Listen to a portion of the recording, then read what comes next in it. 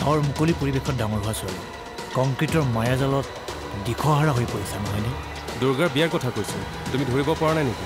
এতিয়া যদি মই চিঞৰ বাখৰ কৰি দিওঁ আপোনাৰ কি অৱস্থা হ'ব আপুনি ভাবি চাইছেনে? গতিকে ভালে ভালে ইয়াৰ পৰা ওলাই যাওক। ওলাই যাওক ইয়াৰ পৰা। গেট আউট চক্ৰবেহু আজিৰ খণ্ডটো উপভোগ কৰক নিশা ন বজাত।